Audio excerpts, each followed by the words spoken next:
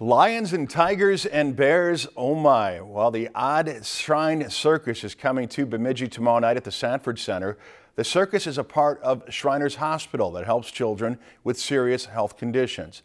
Now, there will be plenty of entertainment, including face painting and pony rides. This year we'll have something that hasn't been done before at the Sanford Center.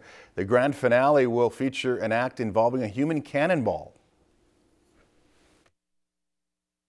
We don't have a choice in what they, they choose, but we're always excited to see what's coming next. I've been a cannonball for 28 years. I'm a second generation, and uh, I actually do a lot of motorsports, not so many circuses. So I am particularly thrilled to be a part of this show because it's been a while since I've seen how amazing people with their talents can be.